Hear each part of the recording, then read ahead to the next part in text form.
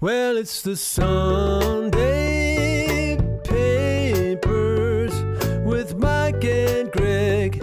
So get out of bed. Sunday papers. Wow. Three, two, one. And Mike. two, one.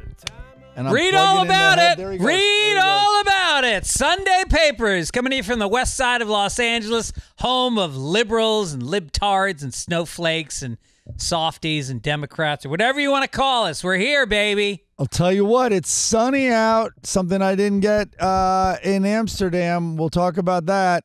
Yep. But spring is pop. Spring is uh, popping up all over the place. Spring is I played golf the last three days in a row. Whoa! Yep. All right, here comes the tease day. of the show. We are going to uh, go over our Oscar results. Listen, I haven't. All I can tell you is it's really close. Our picks on the ballot of who won. You had an impressive one, though. I will say.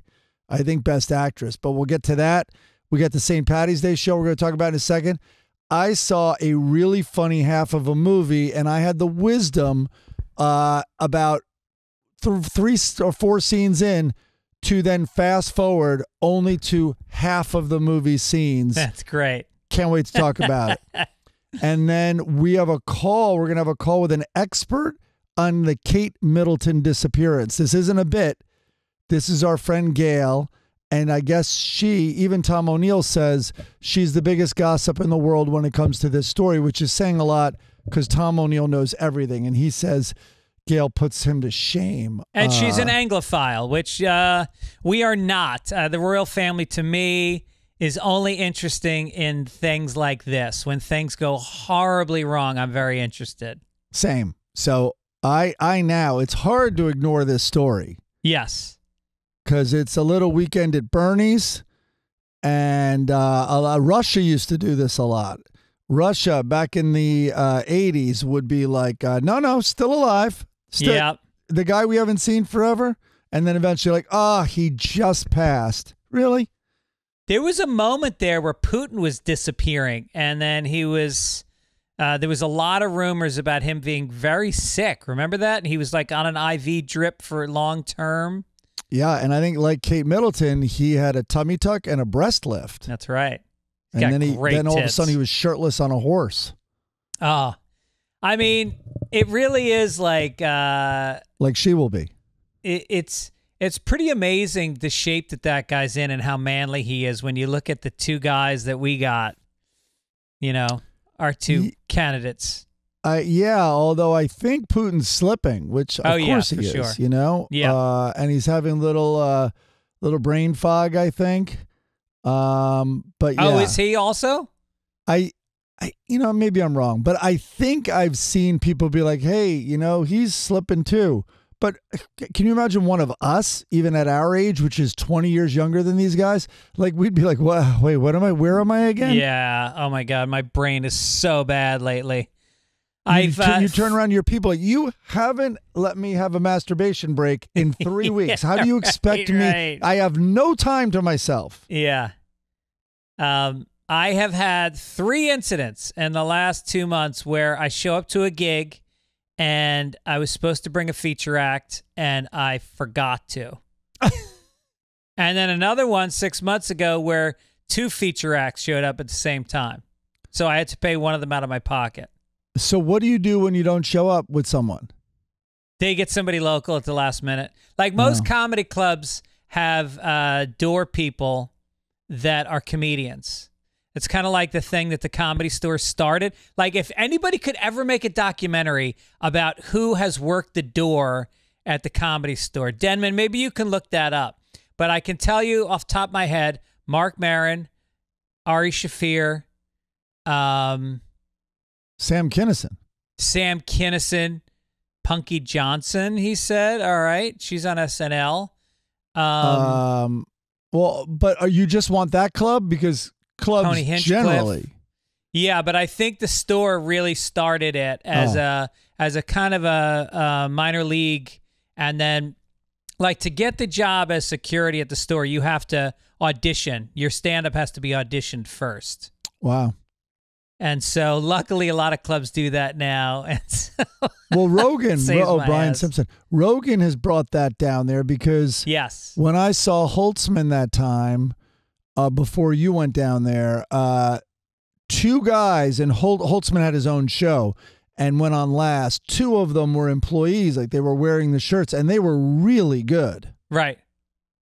Yeah, Um, so Brian Simpson, he's listing. Yeah, he's great. Uh, but I mean, going back way back, there was a bunch of big names. Uh, we'll we'll get back to it. Might take a minute to find.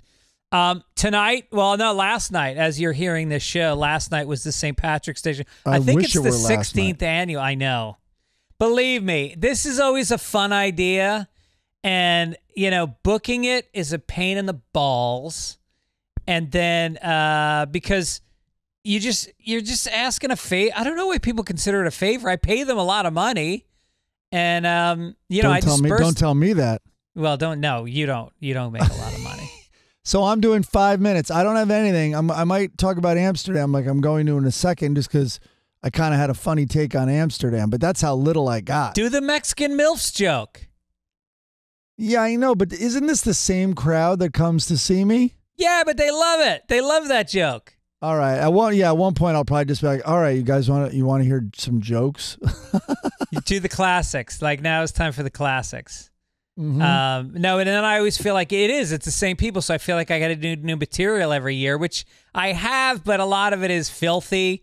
And my wife is there, and her friends are there, and so I can't do my jokes about having sex with her because it's creepy. I think it's creepy anyway. I think I'm gonna start moving away from sex with my wife jokes now that I'm 57. yeah, it could have happened uh, 20 years ago, maybe. Breastfeeding, Hey. Jesus Christ! Hey, hey, people love it. They love it. I keep it. I keep it clean. I talk about Mexican milf. That's right. Very separate, and it's a universally beloved demo. and your and your daughter wiping her pee and then putting it back on the toilet paper roll. Real That's classy. universal. What's personal is universal. That's what they say to writers. So I went down. I visited my mom in Florida last week, and oh boy, it was so Florida. Just a lot of old people complaining, and uh, somebody referred to it as uh, an organ recital because everybody goes, "Well, his kidney's bad. Oh, my liver shot."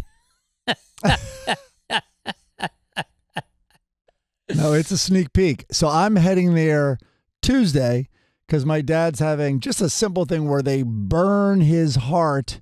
It's called an ablation. So I'm going down there for that. Ugh. and uh and so I'll be in a lot of the similar the this medical community in Florida, which is a ripoff. It's so corrupt. It's so corrupt. You have to sign up for concierge service, otherwise they don't answer your calls, and it's three months to see a doctor. Literally, not only do you pay a copay and a deductible, uh, plus you pay for your insurance, but then you pay about four thousand dollars a year. So they take your calls. They call it concierge service down there. I and think I New York does a it free as market, a free market, but it's it's very it's it's it's why nothing gets changed. One of the big reasons here in America is because powerful and rich people don't have a problem with the healthcare system in this country. If you're rich, you can get some of the best care in the world, and uh, and you'll have insurance, and you've probably rigged that. Maybe it's even your own company, and. No, it's Uh, the people in the middle that get screwed because uh, if you're poor, you get Medicaid, and it's actually not bad at all. If you're rich, you get concierge service. If you're someone like me in the middle, I pay forty thousand dollars a year for my insurance, and it's got a thousand dollar deductible per person, and then tons of copays. It's like I, I can't fucking afford that. This is crazy. Yeah. Uh, I'll get to Amsterdam in a second, but one quick thing. We took a boat tour uh, the first day, and the guy was actually from Ireland with a brogue, and but he's lived in Amsterdam for like 15 years. He's in it's his favorite place in the world. And one thing he talked about was taxes, and taxes are high there. He goes, and he goes, and I hate it. He goes, I have that Irish in me. I just fuck, fuck authority, fuck you, like taking half of my paycheck. And he was, and and and it came up a bunch. He's like, there's, you know, and he would criticize about like, there's the fucking tax, uh, you know, our, my tax money at work, like doing things we don't. But by the end, he was like, listen, you know, I made a lot of jokes about taxes. Like, the one thing I will say, especially to you Americans, because I hear so many complaints, is I actually don't feel bad about paying taxes. He's like, we have universal health care. We have a great education system. And he just listed all of these things. He's like, so you actually see your tax dollars at work, especially in the form of health care. Like, that is a perk. Just that money you would be paying like Americans do. Uh, if you know, so it's it's another tax that we're paying here. Right. I don't I don't anticipate that universal health coverage would add $40,000 to my tax bill. I think it would be quite quite a bit less than that. Well, first of all, they're saying it might not add, hardly add anything at all. There's theories, and listen, I know there's no ideal system, but Jesus Christ, it's we we got to find out some some system. No, it's broken. It's really fucking people up, and uh, you know, without going into a whole long thing about this, but like young people, if you just crunch the numbers for the possibilities of young people ever owning a home, it's crippling. It's impossible. And meanwhile BlackRock and all these big corporations are buying single family homes and turning them into rentals. The rents are through the roof and the and that causes housing prices to go.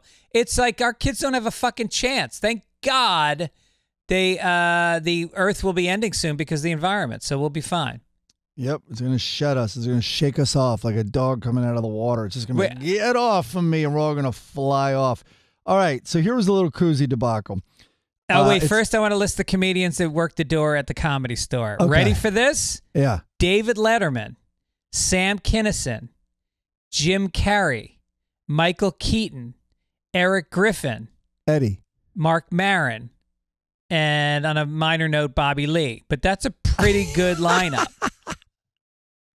That's an amazing list. Are you kidding Yeah. me? Yeah. Some of the home run hitters of all time. Yeah. Um, all right, so I am getting my act together, and I felt pretty proud of myself. Like I, I, I don't know about you. You have to go away all the week, so I've been traveling a lot, and uh, I've become so much worse at packing. Like I put it off. I, I'm like, uh, it's just. I used to just throw stuff in a bag. Now it's like, oh yeah, my meds, blah blah blah. So anyway, it's just getting harder with age. But this time I had my act together, including, you know what, I'm going away for a week and a half. I got to get out. Uh, I got to read all the the koozie, you know, uh, emails and go on. Who hasn't gotten them? Let me take care of all that. I stuff. I I got six envelopes, and I'm like, I'm I'm going down on my scooter to rush to LAX, put them in the mailbox, go to the plane, fly out. So that's what I do. I get to the airport. There are the goddamn envelopes, and I and they're chunky. Remember, these are chunky. And by the way, Oh, I have no. packed to the gills. Like I can't Ugh. even slide.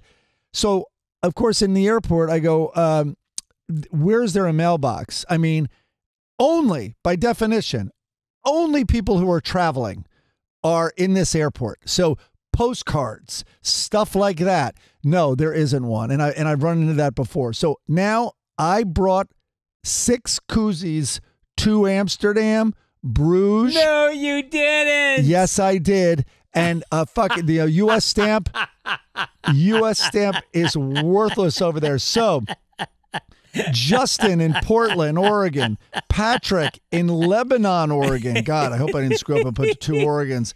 Uh, John in Tucson, Arizona. Oh, my Jeff God. in Kenmore, Washington, and two. Good Lord, Carrie, Carrie in Litchfield Park. Carrie, it's it's a Carrie tried to get three koozies. She got one. She's getting a gift for two other people. I think two dudes. I've this is the second time I'm sending it, or third time to one of them, second time to the other. And meanwhile, by the way, the envelopes you can see here are a little beat up. I I look at the creases. I don't know if they're gonna get there now, but fuck it. They're in the mail. d- have you considered doing um, delivery for other Suicide? companies? Yes, for I other have. people. Doing what? uh, like doing packaging and delivering of merch for other people because it seems like something that's Yeah. worked out really well for you. My my second career? Yeah. I think I, it could be my act three for sure. But it was kind of like bringing, you know, how some people travel with a gnome or that little cutout guy. Right. Like I listen, I brought your koozies to Amsterdam. You It- should have taken pictures of you standing in front of whorehouses with the koozies. Um, all right. So my little take on amps. I was over there visiting my uh, oldest daughter, Sophie, who's in her semester abroad there. So after walking around and almost getting killed by bicycles, uh, like constantly, it's like every time you, you you're at a corner, it's like the pack of kids from ET on the bikes is just tearing ass through, and lots of old women, really old, on bicycles, and they're not stopping. Uh, and I, anyway, after a while, I'm like, you know what this city is? Uh, it's like a bunch of 14 year old boys got together and they're like, dude, we're starting a city. Get this. It's all going to be bicycles, man. We're just fucking, it's all bicycles. We're going to bike everywhere. Oh, and weed is just legal. It's everywhere. You get it in coffee shops. Everyone's going to smoke weed and it's going to be amazing. Oh, and then a sex mall. We're going to have a fucking sex mall, bros. And we're going to be, you go in and women, oh, the, all these whores will be in the windows, man. Yeah. And it'll be legal, legal weed, legal this. All right, cool. Where will we sleep? Um, on boats. We're gonna sleep on boats, man. We can keep our bikes on the boats. Like it's that's that's the the vibe of the Dude, whole I remember being 12 and hearing about Amsterdam and going like, that is nirvana. Like literally shops, like boutiques with women in the window. Was it? Yeah. it- tell me about the women in the window. Where, where did was it skeevy? No, it was. I wanted it to be more skeevy, but meanwhile, Sophie's being brought down there. She's taking a class. Oh, and that guy talked about that in terms of tax dollars. Also, it's they have their crime and especially sex crime is incredibly low, and um, STDs or something. Anyway, you could Google Amsterdam, but this tour guide gave us all the. Sophie's being brought by a professor who worked in in terms of regulation and monitoring it. She worked in Bangkok, which is a very official approach to the sex industry, and now is in Amsterdam teaching at the university. And they're taking a field trip to see all the doctors uh, that are are hired to monitor the situation and the regulation that there's no uh, sex slave trade or any of that stuff. You know, one person on this boat asked the Irish kid, um, "Are they unionized?" And you know, a couple people chuckled, and he's like, "No, that's a very good question. It's brought up a lot." And he goes, "They actually can't be just because."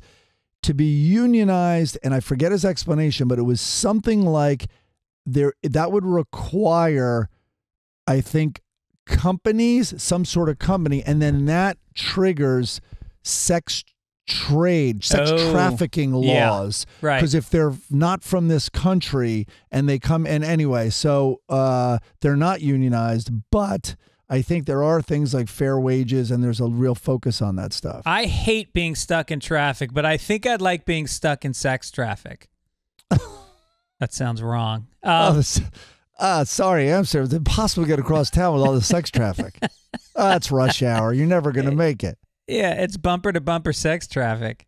Yeah. And then the other thing is, and I have this, uh, you know, it's like being in Austria, where Austria is like, uh, what? No, what, uh, the Holocaust? What? Uh, World War II? No, I mean, no, that's Germany. Not, I mean, we were, um, yeah, sure, Hitler was born here and he's our most famous son. but, and in Amsterdam, it's all like, Well, also, weren't all the death camps in Austria? I guess Poland. Poland and Austria. There was only Oh, yeah. one death camp in Germany, actually. That's a big argument people make about. that sounds like a Fitz fact. No, they say that why were the Germans so compliant when they knew all these Jews were being killed? And in fact, there was only one death camp in Germany. And they didn't shit where they ate. Is that what their not? Is that That's what their right. approach was? That's right. Um, and so Amsterdam. Listen, it's all about the Anne Frank house, right? Which I've talked about before. It is roomy, and uh, put it this way, it's a ninety-minute tour. Do you know how you know a ninety? You know how long the tour would be of your house or my house? Yeah. Four minutes. Yeah, This is ninety minutes. So anyway, Is it true it's an Airbnb on the weekends now?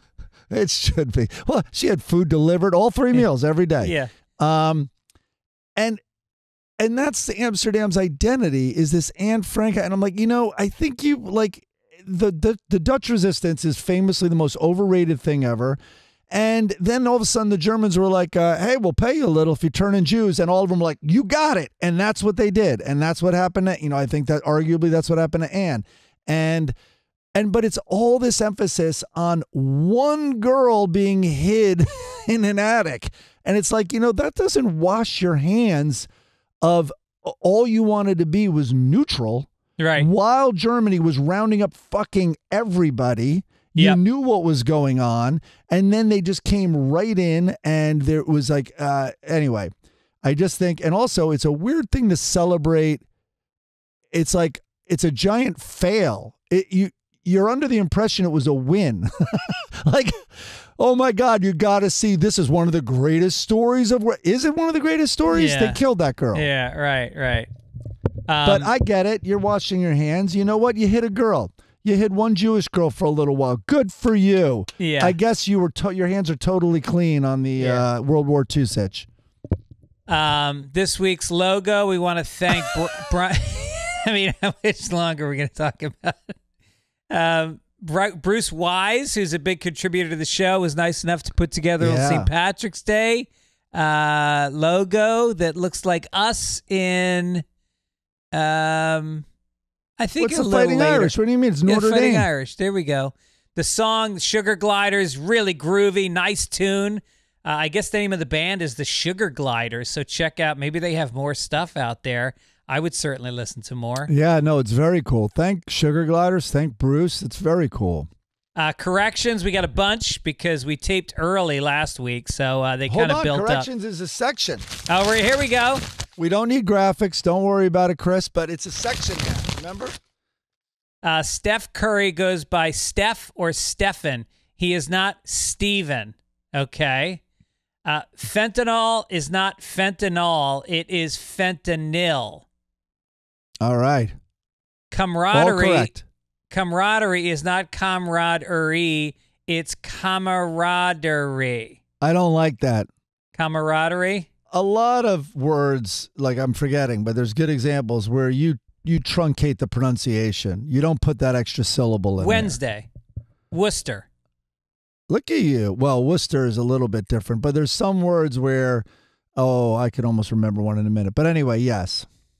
Aluminum. Mm, aluminium. Bob Pedersen sent these in, by the way. He is our favorite nitpicky corrector guy. He Yeah. catches the little shit. Uh, this is from Ma- Manilo Matos. Looks like your buddies at Midcoast Media didn't edit anything on the golf story that you told golf story that you told at the beginning of the episode. Uh, it was a it was a little glitch, and uh, it was corrected very quickly, uh, thanks to the expertise of Midcoast Media. But yes, there was a number of people that noticed that we told a story that we said take that out, and if you listened early, it, it was still in there, but Right. uh, it was fine. Uh, Raymond Jepsom said you said the artwork showed you wearing ski goggles when you are wearing Apple Vision Pros. How disconnected are you guys from the media that you didn't know this? To be honest, I'm jealous. I would love to have avoided the Apple media bubble. Dude, these Apple Vision Pros, I got to I've been out on all the gadgets at Apple. I take a snooze on most of the stuff they put out. These look pretty fucking cool. Well, I don't know about looking cool, but No, not I- looking cool, but they they seem like they'd be fun to wear. you know, yeah. Well, this is how disconnected we are. We, uh, we really were uh, wearing ski goggles. We weren't. We're not even wearing the uh, Apple goggles. You know, listen. Th- this is where the Apple. This is where the goggle and the VR thing is. It's like the first uh, old timey scuba divers that had a giant hose up to the boat Yeah. and the big metal helmet on, and they were in a waterproof suit. That's what we're at now. Instead of like a sl- you know a slender little tank on our back. So these will eventually be really, really light glasses. And I guess they're betting at how much they'll change so many occupations. Like if you're a surgeon, you're going to be wearing those. And also in your vision will be AI, but it'll also be a map. They say there's already programs where you tell the goggles what car you're working on. You pull up the hood and it labels everything and then step by step instructions on how to fix wow, the problem. Wow, no shit. Yeah, yeah. So and, and it's almost like you're an astronaut with all the or a pilot with everything in the windshield. You know what I mean? With everything, including the data. So and Well, I'm sure you're- you're- people are rolling their eyes at my uh, luddite type uh, explanation of this newfangled. uh, I'm like I'm like the the uh, chimp in uh, 2001, like you know, just banging a. I don't know anything about technology. I, I So- was just ta- I was just talking about masturbation. I mean, I can't imagine Oh. throwing these things on and going to town on a stepmom. No, it tells you how to do it. It tells you how to grab yourself, and like if you don't know about that, it'll walk you through it. How to clean up, how to lie to your wife about why she made the bed this morning and why why are the pillows all in one spot now?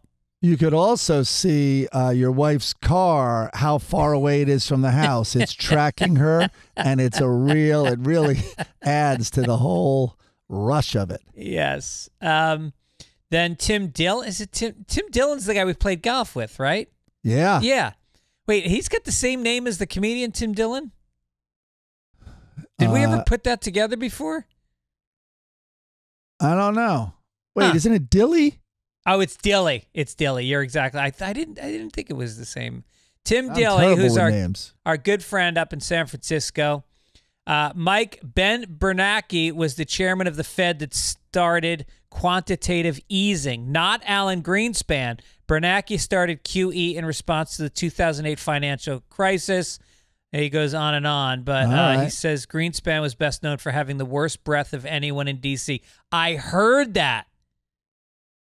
I heard Wow. he had bad breath. What is worse than someone you really like and you want to spend time with, and they're is my breath ever bad, Mike? Honestly, No, I've never smelled bad breath. that's my worst nightmare. Is that's is that I've got bad breath, and that because there's people I avoid and I like.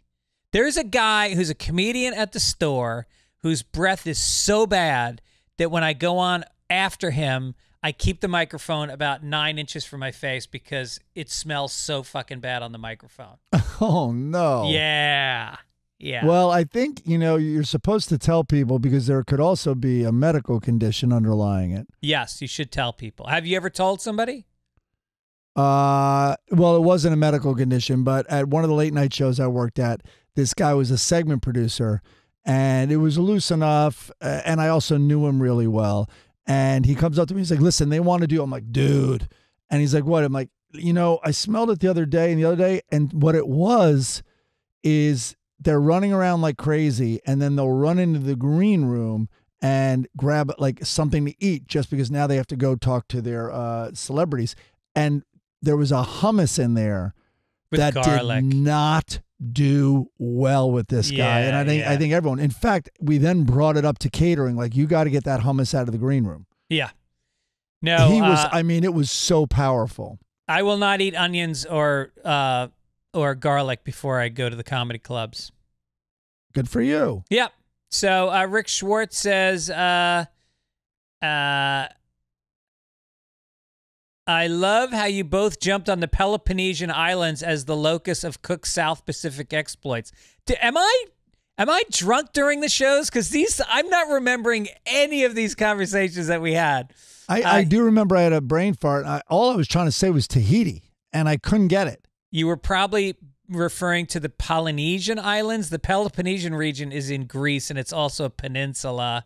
Uh, also, Alexander Bell, Graham Bell, supposedly shouted to his lab assistant, "Mr. Watson, come here, I need you," or something to that effect. After he spilled some battery acid on his pants while working on his phone, and Watson heard it on his extension in the next room. I don't know what we said, but um, I guess I think we said the something first things were, "Will you accept a collect call from Alex?" Oh, that's right. That was correcting good. a joke. Yeah, that was a good joke. Uh, Lucia Ribeiro, who we love. yep, I think she lives in either Vancouver or Seattle, but I met her once. she's a they. Yeah. Although kidding. the phrase is conventionally attributed to Marie Antoinette, it can actually be the "let them eat cake" uh, phrase. It can actually be traced to Jean-Jacques Rousseau's Confessions in 1765, 24 years prior to the French Revolution, when Antoinette was nine years old and had never been to France. So, uh, yeah, a number of people wrote in this correction that it was not because we were talking about the president of, is it Kellogg's? That Yeah, was yeah. saying that poor people should eat cereal for dinner. Yeah. so amazing. You shouldn't even eat it for breakfast. he does not poor people and also guys who don't have their shit together and uh and don't shop none of us have to be told to eat cereal for dinner we got it Right. Right. we know that's a move that's Yeah. all that's all you see seinfeld eating uh throughout that series Yep. Um, coming. Speaking of Florida, I'm going to be in Boca Raton at Mizner Mizner Park, April 3rd. Uh, I will also be in Tampa the next night at Side Splitters, April 4th through the 6th. Mamaroneck, New York at the Emelin Theater, May 31st. Also got dates coming up in Pittsburgh, and we got a bunch of others we're announcing next week. Go to fitzdog.com. Get yourself some tickets to come out and see live comedy. Um, the uh, support for Sunday Papers comes from Delete Me. oh yeah Delete Me. I mean, look, I have been the I, I have been the victim of identity theft. Uh, we the, uh, there's a guy who's actually in jail because of it. We weren't the first one that he. I guess there was a number of people.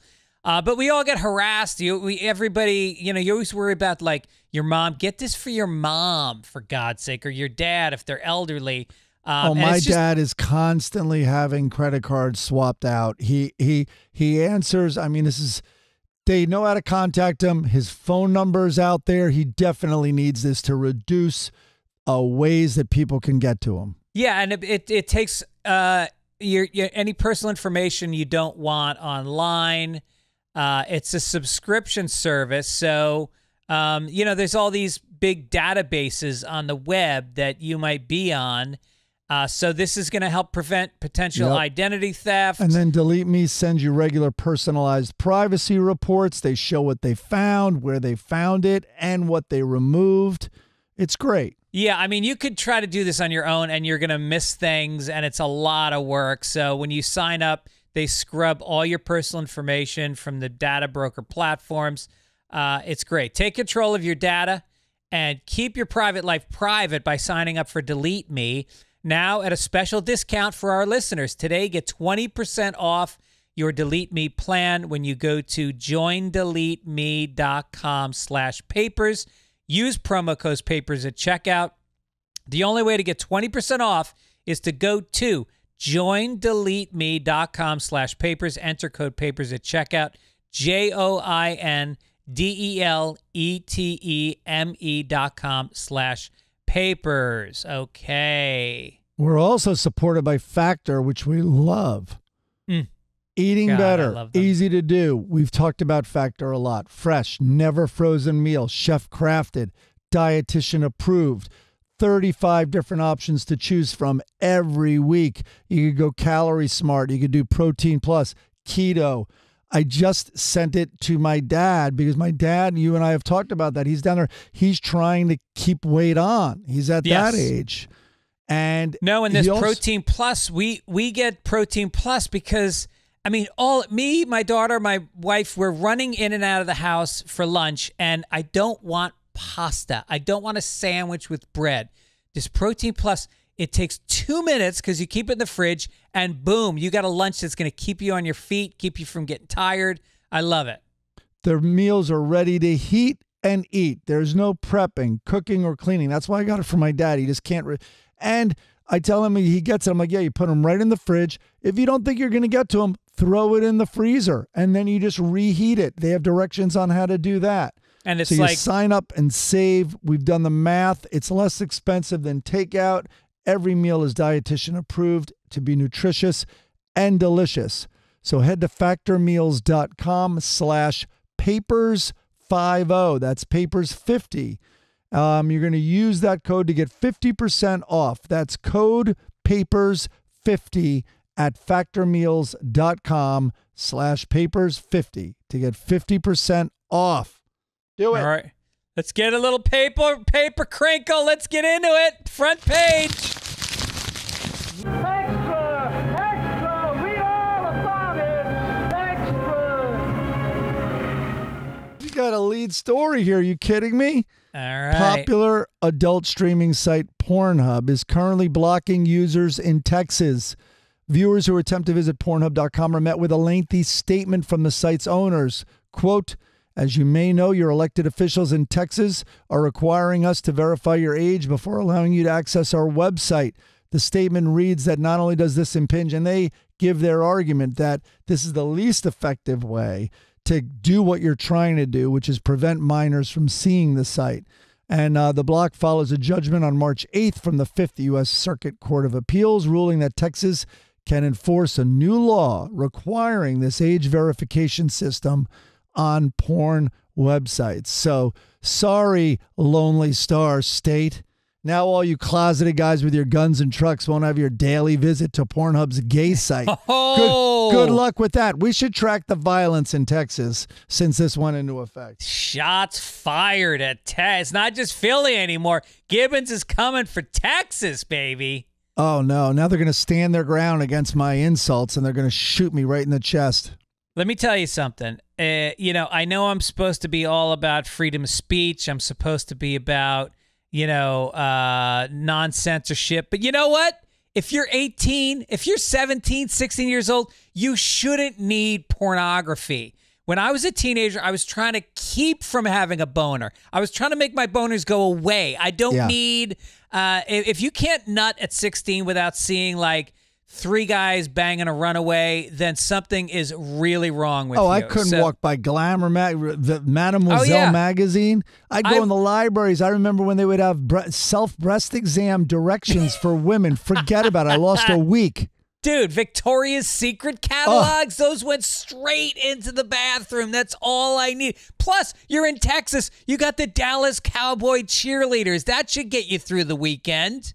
Sports Illustrated, uh, the swimsuit issue would come with Nivea cream wrapped Yes. in it on, in that edition. That's how it was delivered to our homes. And then it, when you talk about Cosmo or Elle, and then it had the little uh the perfume ads where you peel it back and you can smell the perfume. So you you rub your nose on that and then you flip over to Elle Macpherson in the fall fashions. Forget about it. yeah, on, young about guys. Exactly, Go- forget about that month. It, I I just think it's so much better for guys to go free range until they get older. Until you need porn, stay away from it. It fucks up your head. And I, you a- know, Oh, go ahead. Sorry. well, I'm just gonna say, like, I know I'm supposed to be about not censoring, but pornography is fucking intense for kids at that age. It's too much. Well, you know, we when we were uh, working, David Spade had the Showbiz show, and he would do a "There I Said It," which was just a rant, like an editorial, and I forget it was basically about the internet. I, and and but the one element he was talking about was porn at one point, and he was like, "If you told me there'd be a box, meaning his computer, that had all the world's porn on it for free." I wouldn't be standing here today. He's Yeah. like, I, I'd still be in my bedroom. My mom, I would only eat pizzas because that's what she could slide under the door. And there's no way I would have tried to find my calling in this world. Like, Yeah. your brain isn't even fully developed. Now add pot to that and VR Yeah. goggles. What, what who's going to do anything in the future? And you know, like the first point, and this is going to really make me sound old, but the first time I saw any pornography was on a reel to reel. My best friend was David Aranguren, and he was this uh, Colombian kid who lived above his father's bodega in the projects downtown. And uh, his brother Horatio had a reel to reel of some porn, and I remember watching it. Uh, all I'd ever seen was magazines, and my mother never gave me the birds and the bees talk. So when I saw two people fucking, I thought, this is so kinky. He's moving it in and out. And I got an erection. I was probably like 13 years old. And then her, uh, his brother grabbed my dick and he was like, Hey, you like that? You like that, huh? Whoa. Yeah. Isn't and that then weird? Horatio's uncle finished you off? He didn't finish me off, but he is currently in jail for cocaine trafficking. I may- I mean, should we be editing out these names? Nope. Let him come for me. He grabbed my dick. He's got it coming. Good lord. All right, next story. All right, Republicans in Arizona. It's so funny. I have these memories that I bring up sometimes when people go, "That's molestation," because there's a bunch of them. Yeah, a, a, a- an older guy grabbed your dick and goes, "Hey!" Yeah, yeah. Uh, Republicans in the Arizona state legislature have blocked Democratic efforts to get a hearing on a bill to protect access to contraception in the state, with one GOP leader using sex shaming language to suggest the measure was unnecessary. the Oh, bill boy. would enact a law affirming the right to obtain any drug, device, or biologic, biological product intended for use in the prevention of pregnancy. Are they aware? So so no contraceptives in Arizona. Are they aware that ASU is in the state boundaries? Without abortion and condoms, there will be a small army of infants being raised by moms who sleep until noon and Yeah. fathers who play hacky sack when they're not blowing their life savings on FanDuel. They're going to have to double the amount of classrooms because all of their kids will be in the class next door when they're taking college that's cla- uh, right. classes. Oh my god! And plus, it's it's Arizona. All right, are they even going to sell to minorities, or is Oh. that I am. I know where I am on this issue. I am behind any bill that helps prevent Arizona from reproducing. so I am against this. I they need contraception, please. Yeah, they need to be like Maine. Somebody was telling me that all the young people have left Maine, that it's a very old state. Oh, really? Yeah. Uh, I I just read. A, my- I just read a headline. I didn't. We didn't put it in, but that Florida has had a surge in homes for sale because of this insurance crisis. That yeah, it's the- bad. and also all over the country, anywhere where there is vulnerability to climate, um, that insurance is just jacking up the prices so high that people want to sell. No, my mom uh, has a condo in Florida, and um, she now owns it outright. I, I paid it off for her. No, I'm not one of those kids, but I, I should have. I was just gonna question that. I, I that, was, that would have been a correction next week from forty people. Listen, no, you didn't, Greg. I took her to lunch when we were down in Florida. Oh, that did it. She had to get the tip, but I got the I got the check. Um, and then uh, and then she said that so her monthly payments used to be like a thousand dollars, and now they're like twenty five hundred. That's how much it's gone up. Because what's happening is they have these assess, and that doesn't include the assessments, which they had to replace. You remember in Miami that the, all the that building fell down and had Oh some no, no. Oh, Ed, the whole place is being inspected now. Every every building near salt water. So all of the all of the balconies, because the balconies stuck Yep. out from the building, all of those had to be taken down. Insane. And this is a five story building that's like a block long. assessments scare the hell out of me like so i'm i'm i'm renting in this building in santa monica and it was built in 1980 right on the ocean also like and and so there's salt air issues but i have to hear my landlord complain about oh, this assessments oh the elevators now because they're 40 years old. Oh the roof is 40 years and like they're just getting walloped one after the other and it's like you kind of and by the way if you move in there's no uh, maybe there's different different buildings, but my understanding is when you buy a, an apartment building or a, some shared sort of even if it's a townhouse with multiple owners, um, there's no recognition that hey, I've been here two months. I have to pay for your 40 year old roof. Right, right. None. You're paying the exact same as the person who's been there for 40 years. Well, it's a little bit like when I proposed to Aaron and then we got married and then she's like, Oh yeah, I got twenty five thousand in student loans. I'm like, Oh sweet. Yeah. I got hit. I got hit with student loans also. Pre premarital premarital student loans. Yeah. Uh, you don't seem that educated to me. Yeah. I'm kidding. She's very educated. we had a nice time last night, didn't we, over here? That was great. Uh, and we talked a lot about the Kate Middleton thing. We're going to Yeah. get to that. I mean, We're that was going to be our lead story. So, what's the deal with Gail? Gail should be calling in in 15 minutes, she said. So um, we'll get the update from her. She's very excited about it. I ignored Um, this thing for two months. It's getting harder to ignore. Yeah. Oh, by the way, speaking of the pizza, I just wanted to uh, Oh, give, a yeah. sh- give a shout out to Shell's Pizza Company here in on the west side of LA. Uh, this guy Michael came by last night and he dropped off like five pizzas for us that were delicious, Dude, more than that, you also had the cheese sticks and that delicious sticks, marinara, was it, for dipping? It was really nice, and uh, thank you for the nice meal. And What's his uh, name? Michael Shells. It's Shells. Michael, man. S- Thank- I got there- S-C-H-E-L-L-Z Pizza Company. I got there a little after. I guess they were delivered. And I had, first of all, I love cold pizzas. So I had some that were, I guess, room temperature. And then I heated some up. And they were, and you, maybe he had told you that I had to try the pineapple pizza or whatever. Yeah. And he was, and he was right. So what is it, Detroit style? It's Detroit style, which is a little bit of a deep dish, but it's they use a they they they cook the cheese partially on the outside, so it gets this nice crispy. I liked uh, it a lot. Yeah, it was good. Uh, all right, let's talk about a South Carolina woman accused of launching a racist tirade against her black neighbors last year. It's always against. Why is it the racist tirades always against the black neighbors? How come it's never like the Norwegians? You know, they No, were right. Vikings. They raped everybody. How about a little racism against the Norwegians? You know what I wouldn't mind to see? A nice surprising little twist in the tail. It's a racist tirade, and it's from uh, one like it would be me screaming at my white neighbor. Right. Because fuck, cause fucking whites are the worst. and I would just go off on that. And I would tell the journalists, to like, oh, these two neighbors, these two. I'm like, no, no, I want you to say it was a racist tirade. I- Yeah. I know I'm white. I don't give a shit. This fucking white guy's the worst. He's the worst of the worst. Yeah, and then they show you yelling at your black neighbor, and you're like, "No, it has nothing to do with Nothing the fact that he's race. black. He's a fucking asshole." Yeah, but you did just say white people. Are you excusing yourself from that? Because you're a white guy yelling at. No, it's different. This is different.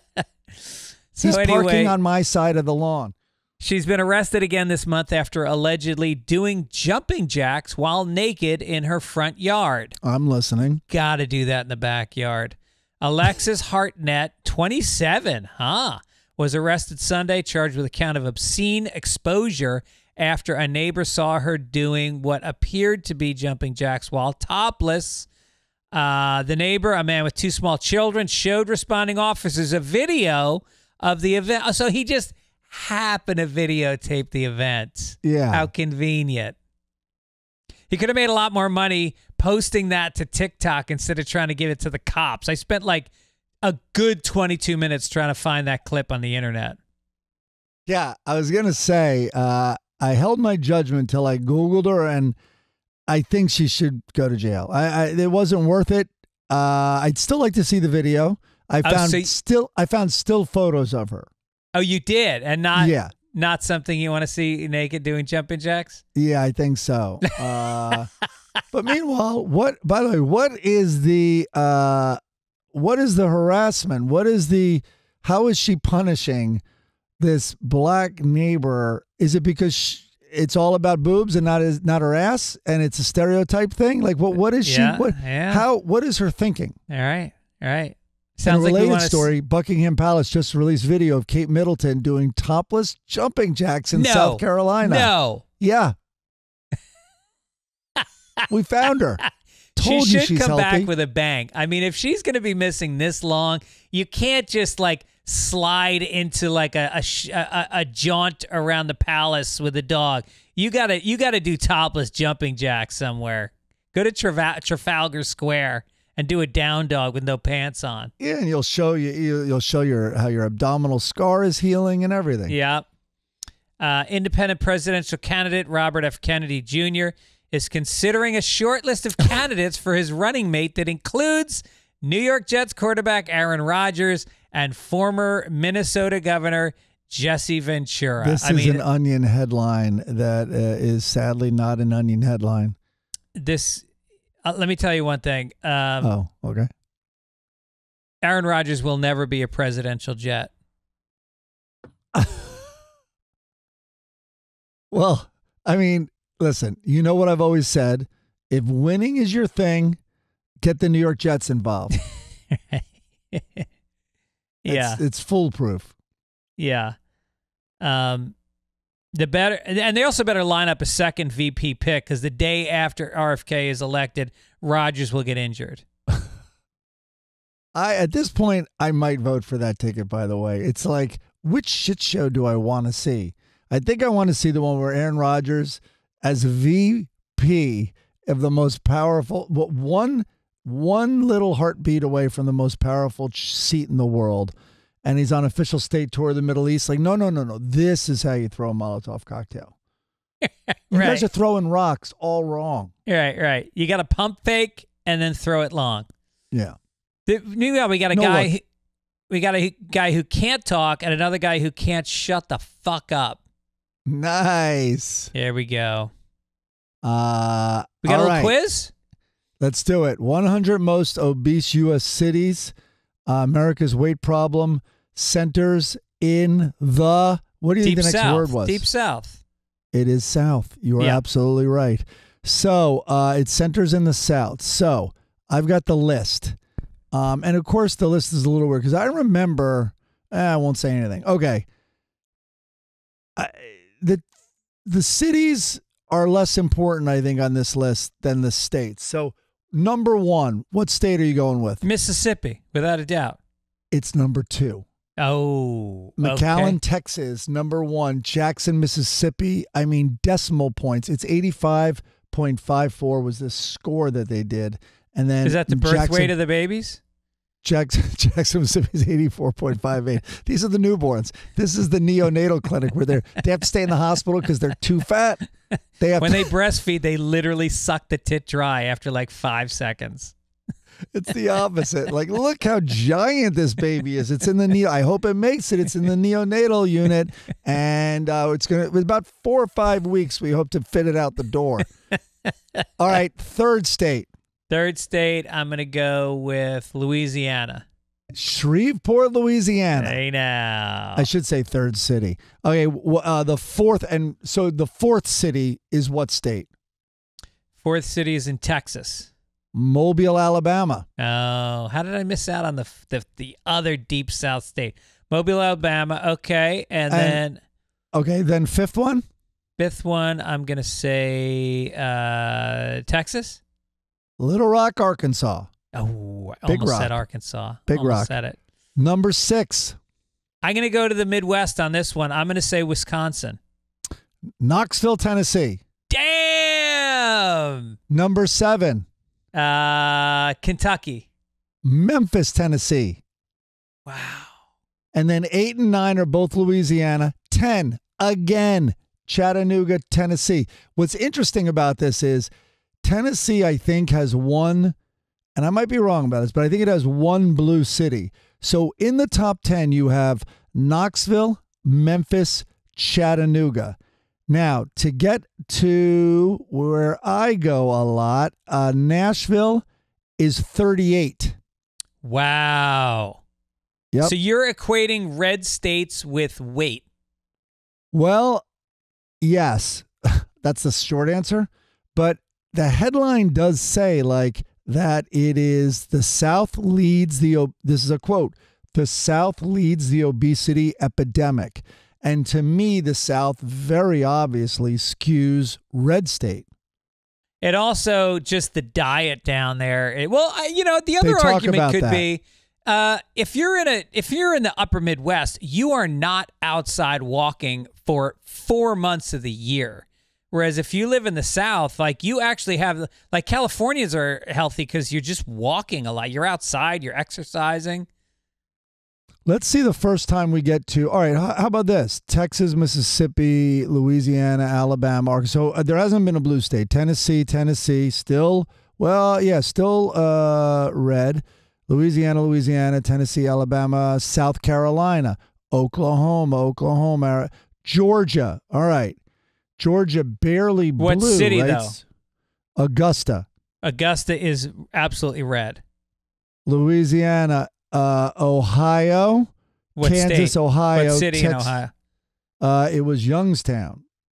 That's a mob town. Oh no, sorry. There's two Ohio's. Uh, Canton was the first Ohio, Mm.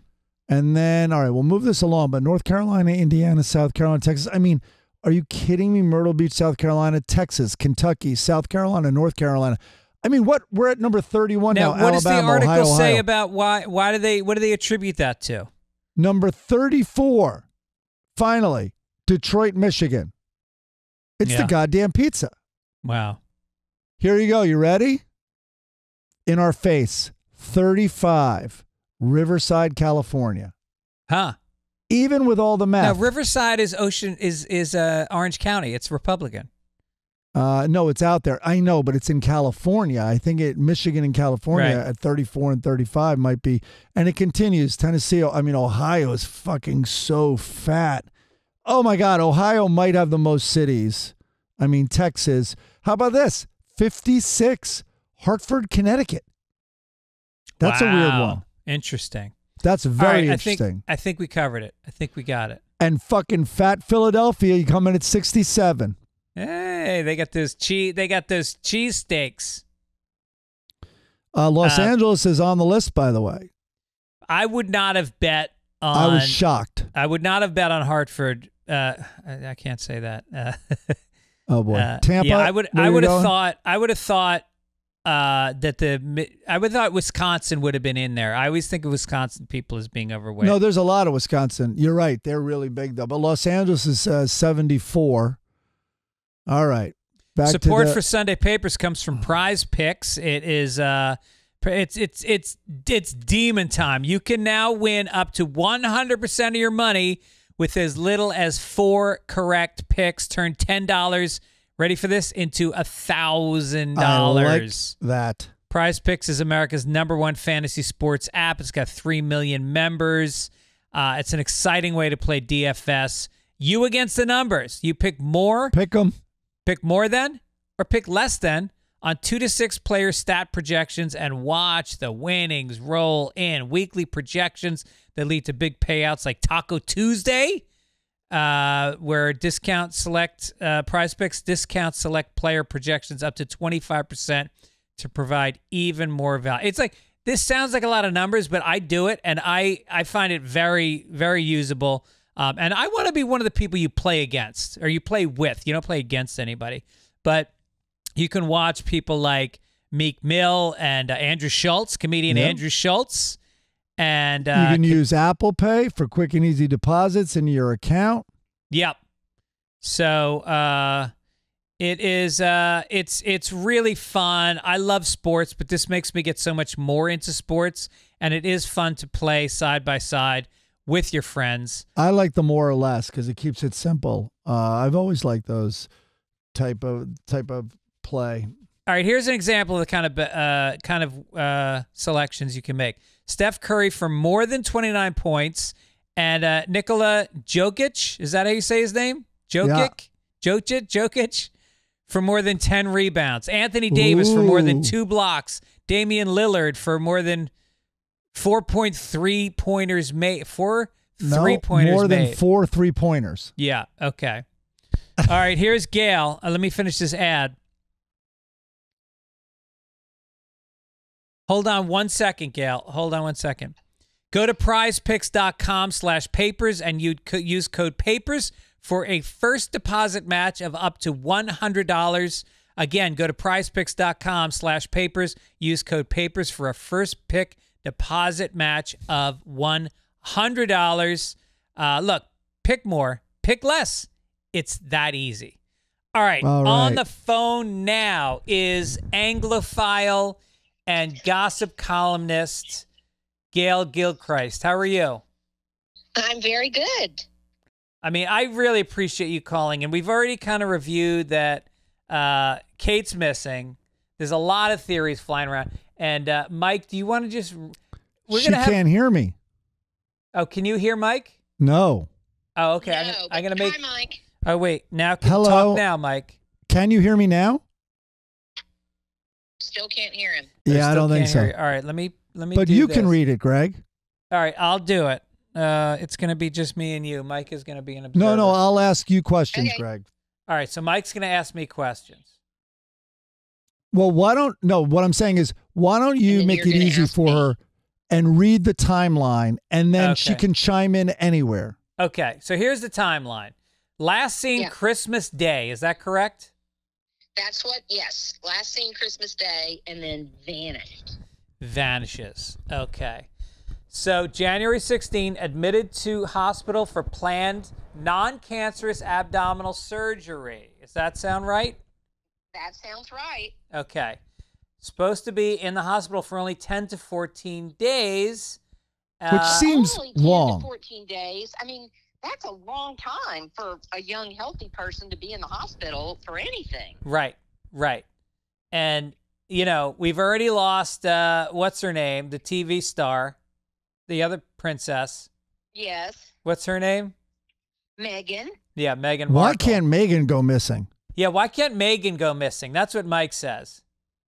Yeah, she maybe she's behind this in in some way.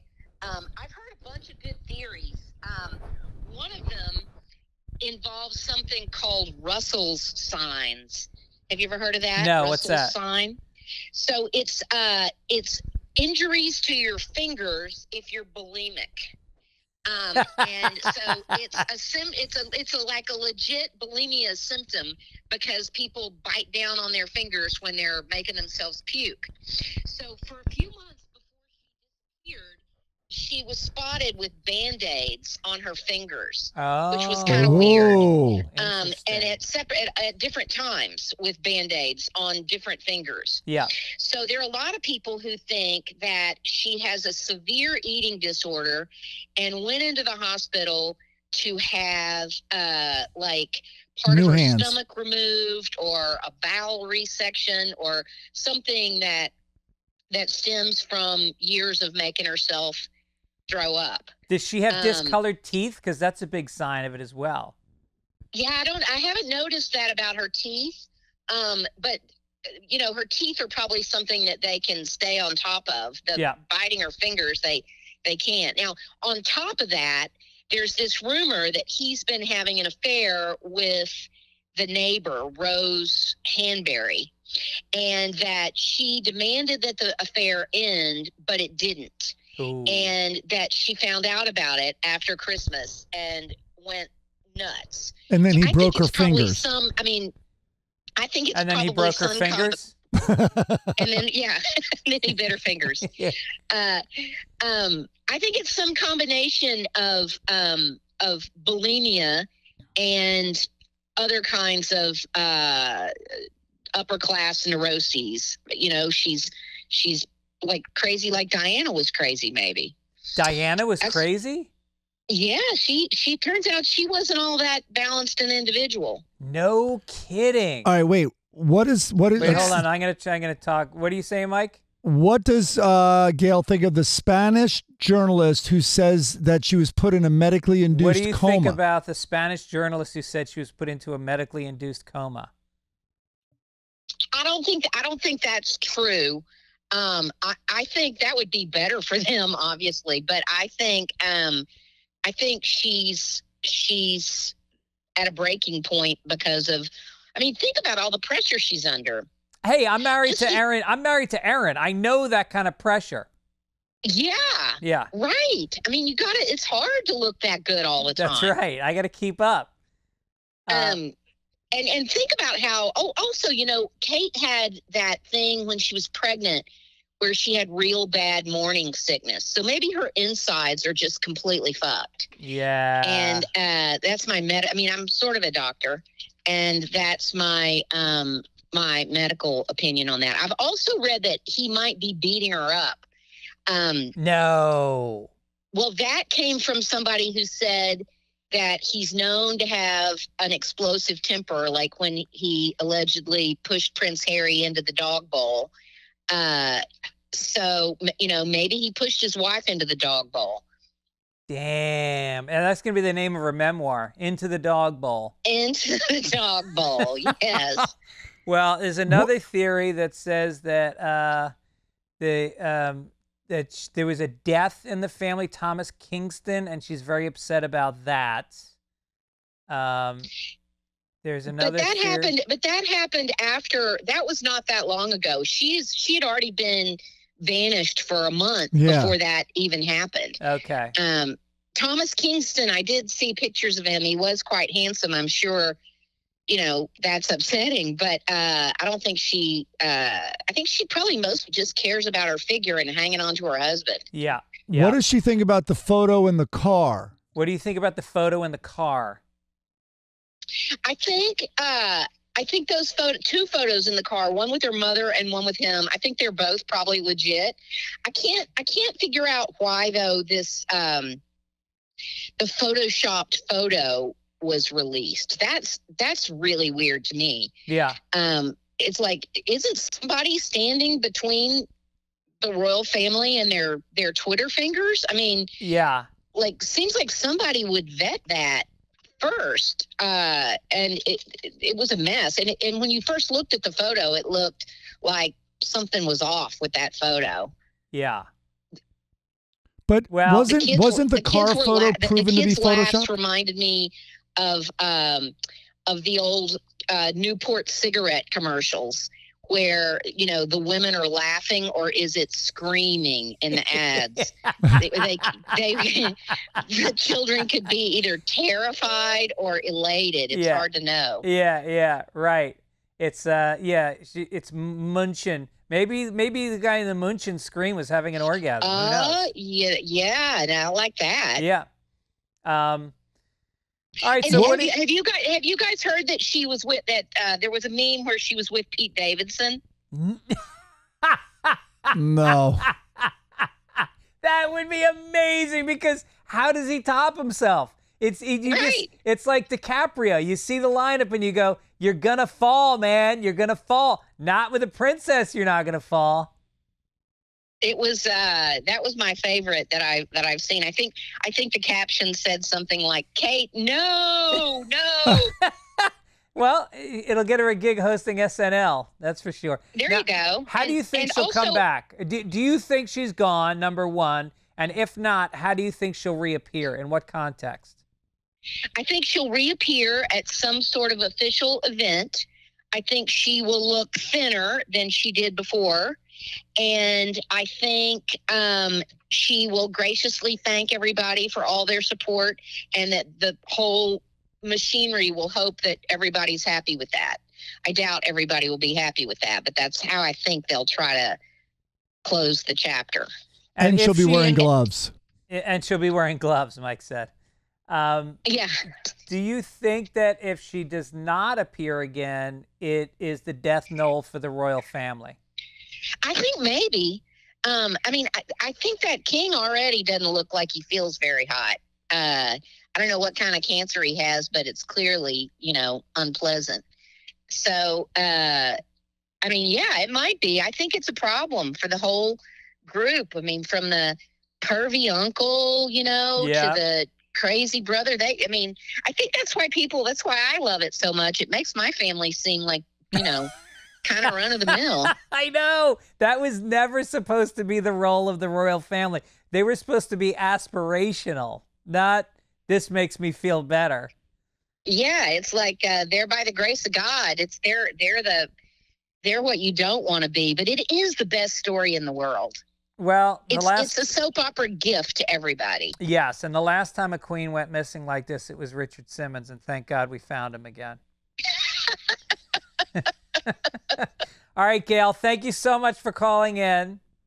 And All I'll see you tonight at the uh, stand up comedy show. I can't wait. It's going to be really fun. Bye, Gibbs. God Bye. bless. See you guys later. See ya. Damn, she knows her shit. That's no joke. Listen, Middleton, here's the problem. She should not have had her abdominal surgery in a car being chased by paparazzi in a tunnel in Paris. Like that, I know. read your history. I know. I mean, there's Diana, and then Meghan is gone. I mean, this job has less security than House Speaker. this family is very good at making women disappear. Yep. I mean, that is their thing. Wow. All right. Well, listen, that was a good segment. I'm glad. Ga- By the way, Gail is like one of the biggest writers in Hollywood. She's been writing on TV shows for 30 years and is a dear friend. So, we So she knows her. a good tale when it's being presented to her. Yeah. As as does our other friend. uh, but it would be tail like T A I L. Um, let's get to entertainment. You got it. Here we go. Let me get some paper. That's that's good.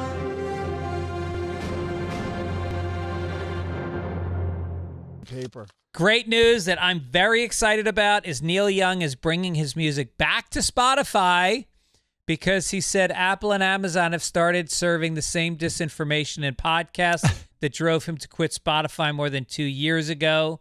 He said he can't boycott everybody because then his music would have no uh, streaming outlet to music lovers at all.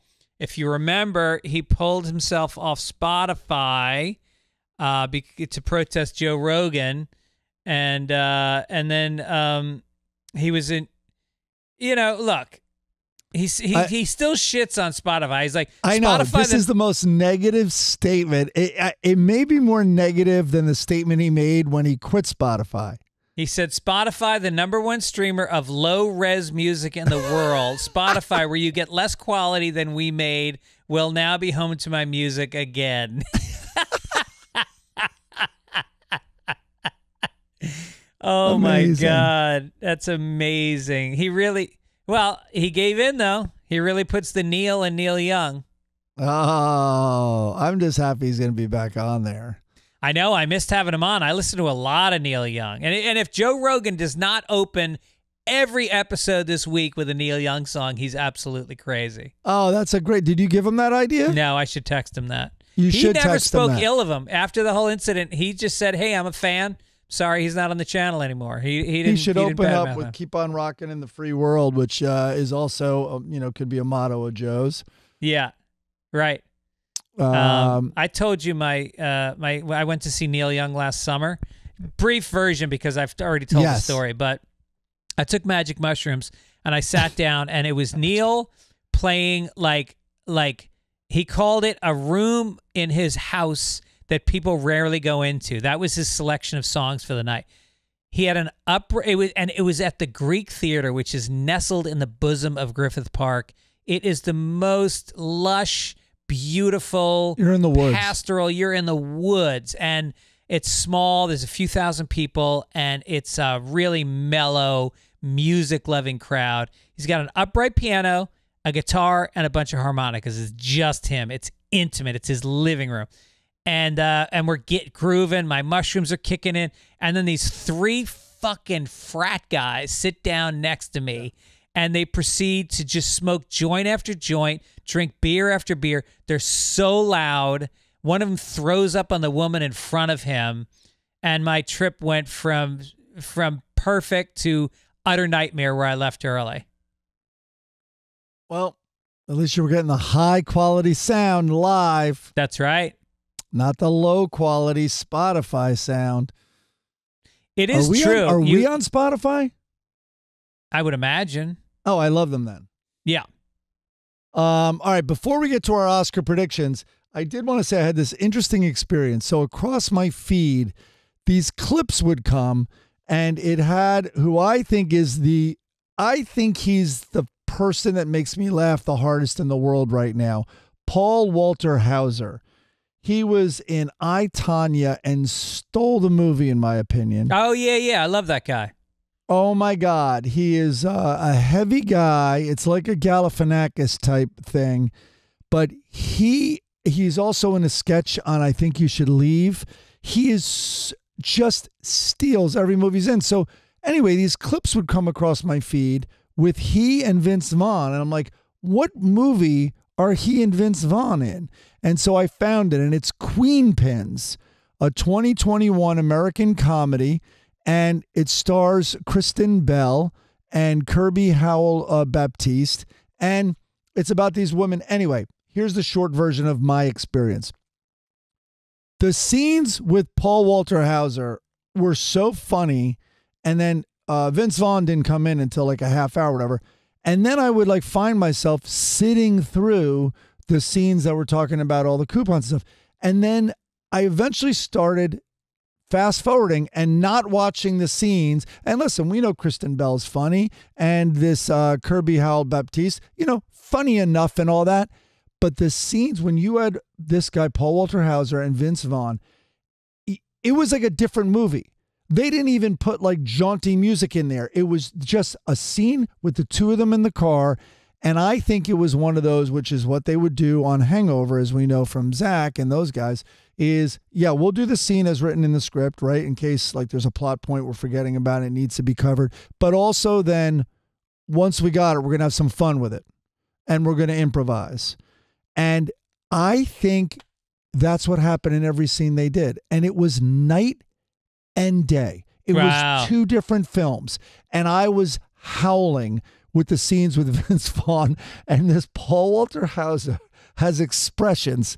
I, I rewound it two or three times. I rewound it to watch what he did.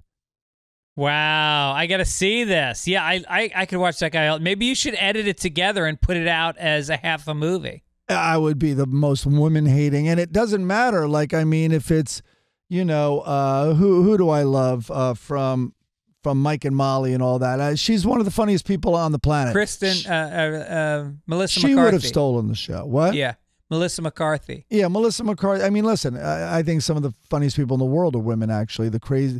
I mean, all the crazy actresses on Saturday Night Live. Like, I'll watch anything they do. Uh, Maya Rudolph is great. Oh, Maya Rudolph, I'll, I'll watch do anything. I, I sent everybody that when she was just making noises, doing the nas- making fun of how people sing the national anthem at the Super Yeah. Bowl. Right. I, I've wa- I watched that I think five times. But Yeah. anyway, this it's a great way to watch a movie. I mean, it's I, I you probably have it down to 35, 40 minutes, and it's called Queenpins. Anyway, All all right. right, let's get to the Oscar picks. All right, we made picks last week for the Oscars, and now we're going to see who got more rights. It is close, my man. Here we go. Best picture, we tied. We both picked Oppenheimer. Best director, same thing. Christopher Nolan, both of us. Actress in a leading role. Uh I we both oh no, I thought you took we no, I went back and I watched the tape. You said Emma Stone will come in second. I did. Yeah. Oh yeah, that's You- right. That's right. You were wrong. She came in first. yeah, We both thought Lily Gladstone would do it. yeah. Uh, I have a buddy of ours who I will uh, I will not name, and he goes he won the office pool at work in a talent agent, a a talent and an agency that does even more than talent, represents writers and everything here in L.A.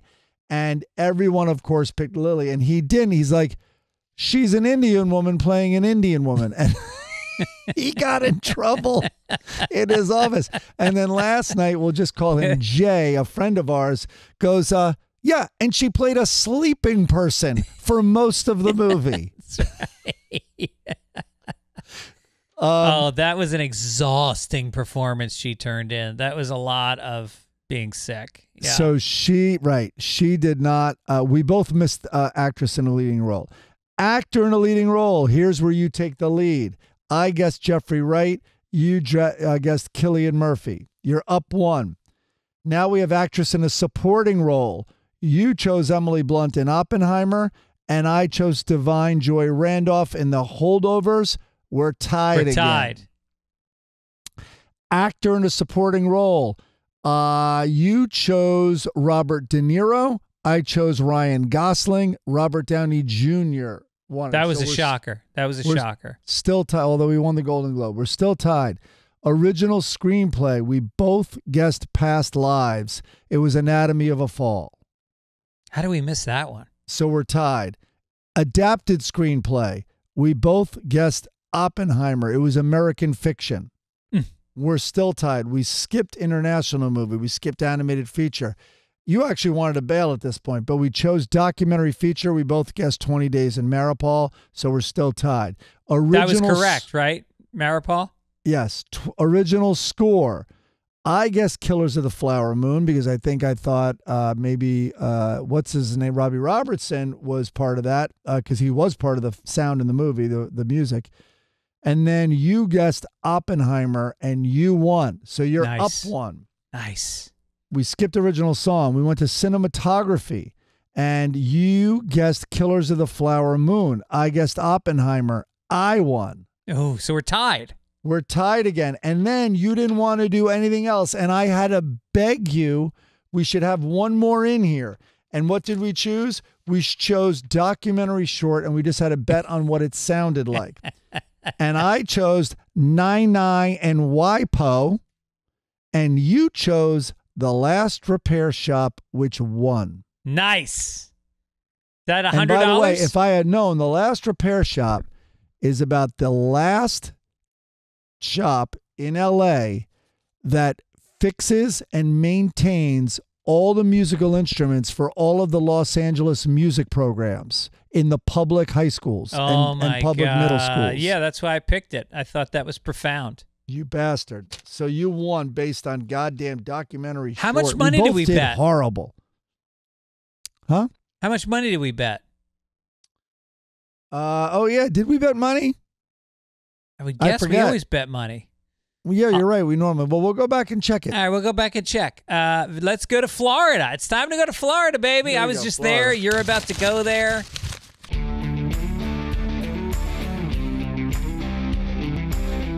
Florida's a big part of our lives right now. Florida, Florida man. I, I don't really have any jokes here. It's just fascinating to me. Florida man suspected of kidnapping girlfriend surrenders after a 20 hour standoff. So he was suspected of tackling his then girlfriend and throwing her inside a vehicle. He barricaded him, himself inside a home in, yes, you guessed it, the Villages, Florida Yes. Leading to an hours long standoff with police and law enforcement. James Savage, not a great name oh in this boy, case. that's not going to help in court. The suspect is accused of punching and tackling his then girlfriend, 60 year old Marivelle Dunn, outside a home late Thursday night and forcing her inside a vehicle before driving off.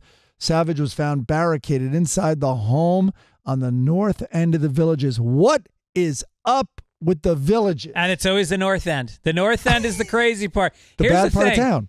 This is such a not big deal in Florida. This is just a guy tackling his girlfriend, putting her in a car. That's like subtle. That's like when a girl goes to another girl, I think he likes you.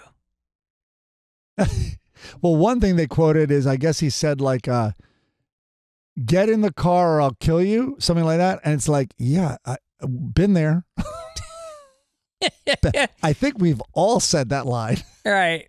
And then he tackled her. The, the Buccaneers could use this guy. They need a new outside linebacker. Although I, I, I, think I'd I go with a one year said that- contract. What's that? I think I'd go with a one year contract on that one. Yeah. I um I've never said it to uh, a wife or someone I'm dating, but I don't know if this is a good defense, but I've said get in the car, I'll kill you to my daughters like almost every time I've been in the car with them. Yeah. So, okay, Uh, here we go. We're gonna make Georgia, Florida. Oh, that I'm wearing that paper out. We're moving. Oh, oh, I have more crisp ones. All right, making Georgia, Florida. All right, I love this.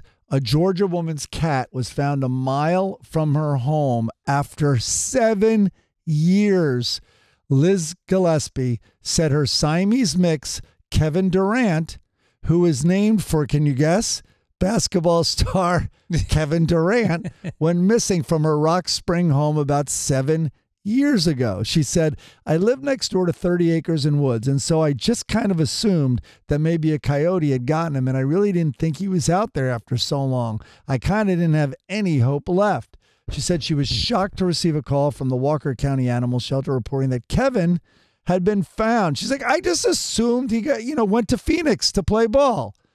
That he was traded to Phoenix. That's why he was never around anymore. Officials told the uh, told her the feline had been brought in for testing after a confrontation with a local child, and the vets discovered that he was neutered and microchipped. She said Kevin had been living with feral cats uh, only about a mile from her home, and she said he is currently resting and getting to know his way around the house again. Yeah, he's posting up in the paint in the kitchen. Yeah. he's getting know. right. You know what the cat's really doing? It's looking for getaway. Like what windows loose? This you don't think this cat knew where the house was? Right. Take a hint. Take a hint, lady. This is not a house cat. The, the- house cats don't run away for nine years and Yeah. join up and join up with the ferals. He's feral. He's got tattoos now. He's got a meth habit. Why do you think he attacked that fucking kid? He's jacked up on meth. And You- Yeah. and good luck because the other you think the other feral cats don't know that uh, that Kevin has got got a home with free food. They're going to start swinging by for dinner, not leaving. Her problem was she thought she could contain Kevin Durant. That's right. Are you can't kidding contain- me? No, no. Legend. Yeah. All right. Uh, we are right. moving on. We already did Kate Middleton in our international story. Let's go down to this day in history. This day in history. Here we go.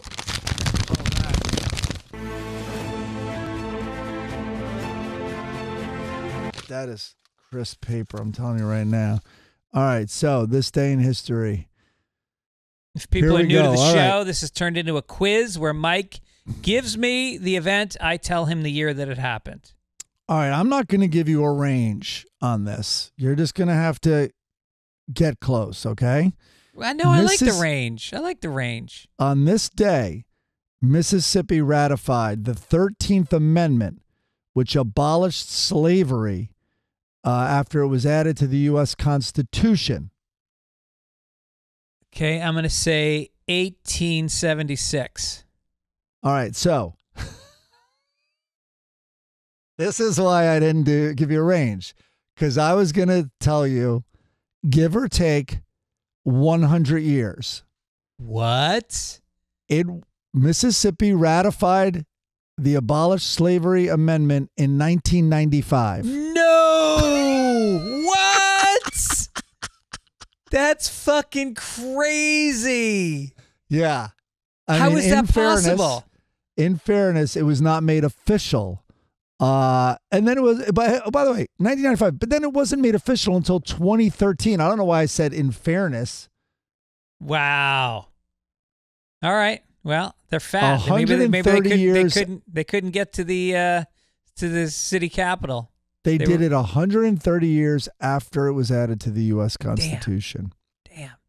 Fatties. Well, you're going to get this. Um, give or take a year, okay. the U.S. Marines on this day captured the Japanese island of Iwo Jima during World War II. 1945. Nailed it on the nipple. Nice. Okay. On this day, American comedian Jerry Lewis was born. I mean, yeah, on this day, in what year? Uh, I'm gonna say. Oh, I'm going to say give or take five years. I'm gonna. T- I'm gonna say 1937. Oh my God, you missed it. 1926. No. Yes. Damn. Do you know that him uh, and uh, uh, what's his name? Uh, Martin, Dean Martin. They were the highest paid comedians in the world because Yeah. they used to do. There was a thing in New York where all the big theaters, like the Ziegfeld, they used to show movies like. And, and before the movie, there was a live performance. Like comedians would go up for 20 minutes and they would do a show. So noon, two o'clock, well, whatever, noon, three o'clock, six o'clock, nine o'clock. Those guys got up and they performed together six days a week. They did their routine and they were making back then like a million dollars or two million. It was crazy. Nice. And that would have been in Um, probably the 50s, late 40s, 50s. Uh, I just realized, by the way, I was reading today, today, March 16th, but uh, it's this, uh, you're, you're just guessing the year. It's fine. Um, okay, let me, how about Ameri- This is a little close to American author Nathaniel Hawthorne. Mm. His book, The Scarlet Letter, was published on this day in what year, give or take 20 years? Uh, 30 years, give or take 30. 1850. It's 1850. No, really? I'm not kidding. Damn. I'm on fire. Man, man, oh man. I was an English right. major and I love that book. Uh, okay. Today, St. Patrick, the patron saint of Ireland, he died on this day in what year, give or take 200 years?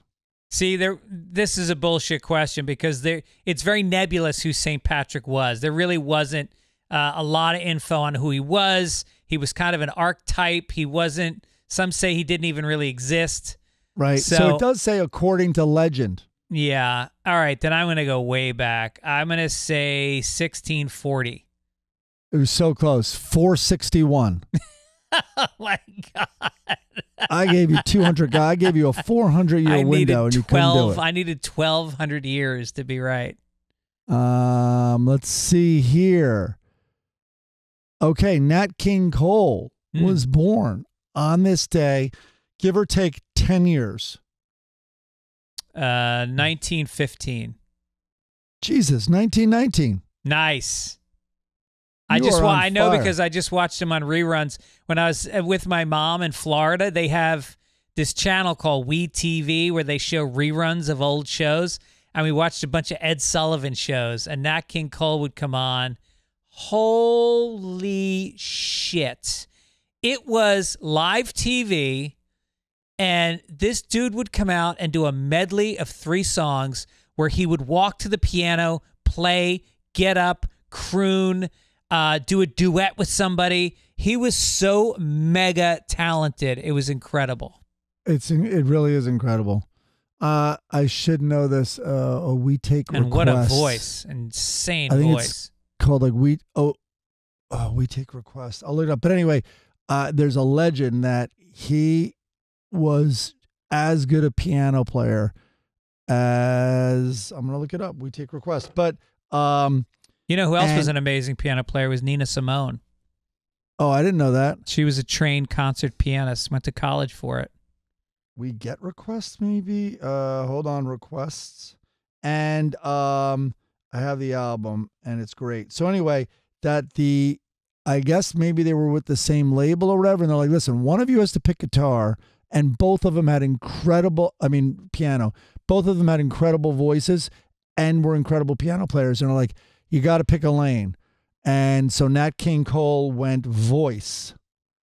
Oh, yeah? And- yeah. And oscar peterson who was widely considered to be one of the greatest pianists ever he he leaned into that. But as you just said you, you saw nat king cole on piano. Apparently he was phenomenal. He was amazing. And his song, uh, he that was our our wedding song. Me and Aaron's first dance was unforgettable, and, and that was the song because on our first date we were in the Bowery, we are on the Lower East Side, and we're walking down the street, and we just held hands for the first time, and then this homeless guy was standing there, and he was singing "Unforgettable."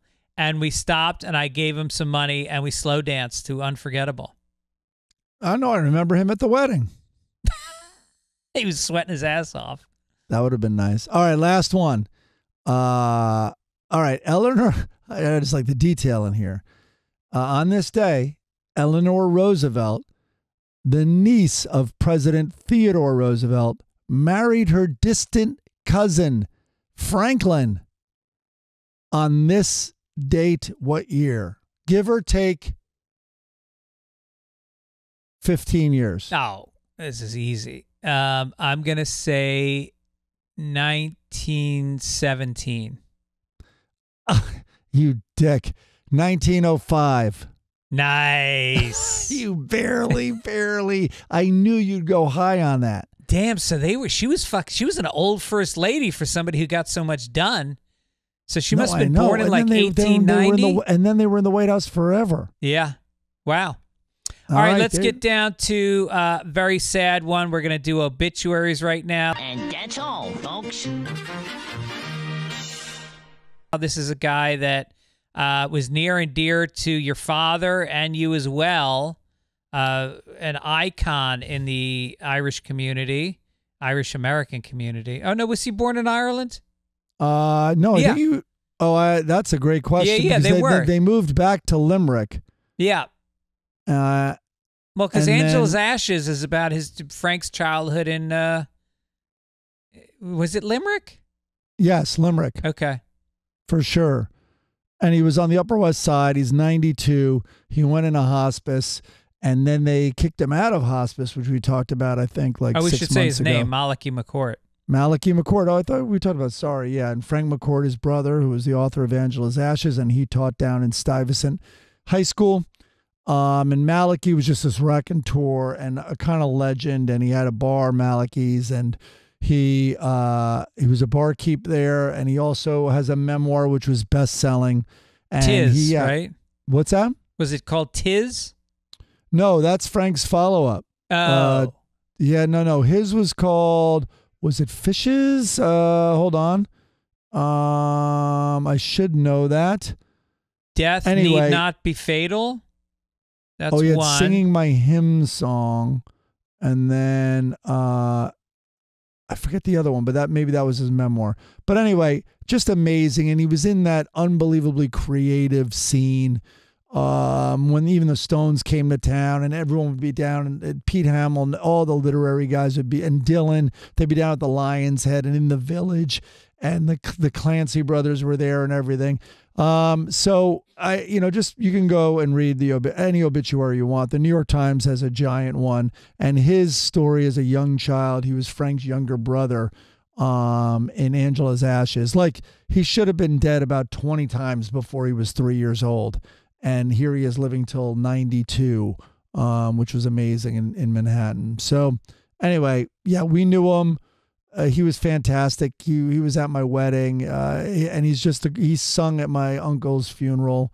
He would always like you know there's that saying "sing for your supper," and he always would kind of in a way like earn his keep and bring a room together. And uh, yeah, he was just amazing. It's just a part of New York that it's so sad to see it go. When you see somebody like him die, and you know Pete Hamill and Jimmy Breslin, and uh, you know it's just like I don't know that these people are being replaced by people that understand their history, that understand how to be charming and light up a room. And I like that sink for your supper kind of mentality because my father had that. It was like you went to a You party, you were you were well, I try.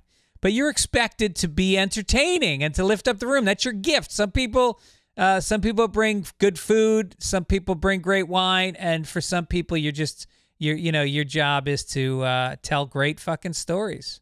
Yeah, they said uh, distinguishing between Mr. McCourt's stories and his lies was a fool's errand. Both were so spellbinding. Amazing. He, he had all these funny quotes. He would say, "Live every day like it's your last, because one day you'll be right." Um, and he famously, he and his brother rejected the St. Patrick's Day parade. So I guess we can talk about that.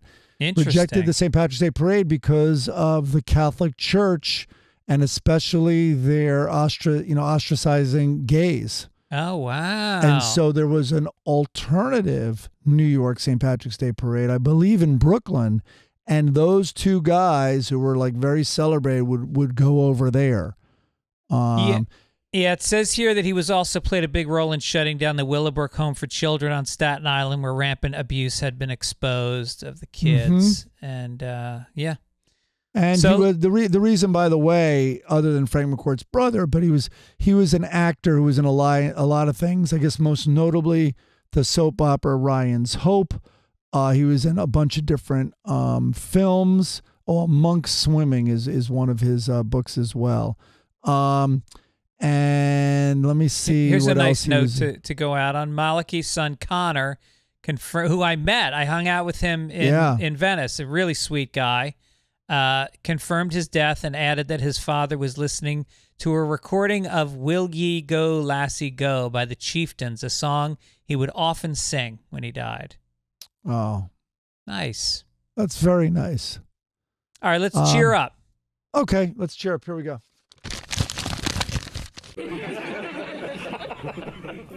Here's the Sunday funnies. We got Hagar sitting at the bar talking to a woman. Uh, she looks despondent. He goes, Isn't that your boyfriend sitting at the end of the bar? She goes, I broke up with him. He's a jerk and he'll never, ever change. And then a wizard comes over and she turns into a frog and he goes, I was eavesdropping. well, first of all, define in these times, in medieval times, in fucking Norway, what is a jerk? Because the bar is pretty low. Yeah. You know, like what? He doesn't call an Uber after he molests you with his eight marauding friends? And if you don't think that's what the wizard is up to now, Right. he stepped right in. He removed he removed his competition. Uh, we get the Lockhorns. Leroy and Loretta are in a car dealership with the salesman. Leroy says, We can't buy a self driving car unless it pays for itself. Cute. And then they're at an ice cream truck, and Leroy is getting a cone. And he says to Loretta, What do you mean I don't have to worry about brain freeze? Slam! you got slam, Leroy. Totally got slammed. You know, something reminded me of uh, this comic strip. I'm going to send it to you. It's so hysterical. It came on my feed and it said Norman Fell is the first ballot uh, on the Hall of Fame of breaking the fourth wall. And it's from, um, wait, let me move this down. It's all these lines. Wait, let me just give you a line or two. It's literally this comic strip and it's it's from um, Three's Company. Ready? Are you kidding? That's a great likeness. It's just a blob. Oh, don't fool me. I'd recognize your mother anyplace. and then he looks to the camera. yeah, yeah. But a, a lot of it is like she asks about her makeup, and he's like, I think it needs a few more coats. And then he looks at the camera. hey, what else? He was in something else that was big. We were just talking about. Was it you? I was talking to Norman Fell about. Just What? talked about him the other day. Was he in The Graduate? yes, he was in The Graduate. Yeah, he was also. Was he in 12 Angry Men? I probably not. Maybe. I'm going to look it up. I'm going to look it up. All right, you look it up while I do another Lockhorns. Leroy is working on his laptop with his phone in his hand. He is gritting his teeth. And uh, Loretta says, when left to his own devices, Leroy can't figure out how to use them. That's not bad. That's good. Uh, All right. Denman- Norman Fell, Three's Okay. Company, uh, and the Ropers. Ocean's 11 in 1960. The Graduate in 67. And Bullitt in 68. Oh, Bullitt. Yeah. I mean, Yeah. tons of stuff. It's a mad, Inherit mad, the mad, mad Wind. world. Huh? Inherit the Wind. And Denman also wrote down he was in Ellen. So he, I bet he's got some stories. He was in The Killers, A Mad, Mad, Mad, Mad World. Oh, Uh, yeah. okay. All right, welcome to the Old Man's Podcast. Let's do a little family circus. Shaking it up this week. Oh my God. I just threw it in here because, all right, so I went, I saw this family circus and I'm like, I'm going to put it in because I have no idea what it means, of course. But then I try to look up today's, the 17th, because we're recording this on Saturday, the 16th. And I go to click on it because I see the date and it goes, Oh, do you want to pay and subscribe? Can you imagine Yeah. paying and subscribing? Not only are they free the day of, but you want to get ahead on Family Circus? Yeah, yeah. Okay, this one is the grandmother leaning in, blowing out all the candles on her birthday cake, and the two kids, the the daughter with the red hair, and then the pudgy son or whatever, the young guy there. He, they're around her at the table, and I guess the boy's pie hole is open, and it's going to be a pie hole in about three seconds. And he, I guess, says, "Don't worry, Grandma. Maybe your wish will come true anyway." What- Yeah. What? Is- yeah. Is that like masquerading as a clever statement? Is that is it, it does it have the mm. feel of a clever statement, but it's not? Oh, wait a minute. I, is it that she's so old the, the flames don't go out on the candles? Oh, because they're oh, I, I guess the yeah, that's not very clear, but you're right. They're still lit. Yeah, I think that her breath couldn't quite put out the candles. Can I cut Oh, so to- it's so it's not. It's actually not clever uh, at all. What he said. All right, so I guess the other she can't blow out candles. Okay. I just went to the site Arcamax where I get all the comic strips from, and they have a comment section. People read the cartoon and then they get on a chat room to discuss it. Here's some of the comments. Flamingo says, "Grandma's wish came through. She's with her grandkids!" Exclamation point. Oh my God. Uh, and then Susan Newman, who's a little edgy, she wrote, "You don't know what she wished for. Maybe to permanently get rid of the melon heads." Oh, all right. Um, Norisum said, "With my senior discount, I get two blows." I bet your husband's happy to hear that. Yeah. What is what is that? Yeah. Um, Grandma, right. nope, you're still here. What what website has the comments? uh, Arcamax. All right, I like it. I might go there. Uh, all right, good. Um, all right, let's get to some Blondie. Jesus Christ, the lights are dim. The room is blue.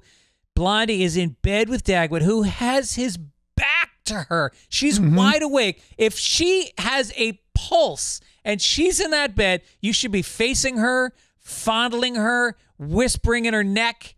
Instead, he's got on fucking donut pajamas and he's faced away sleeping.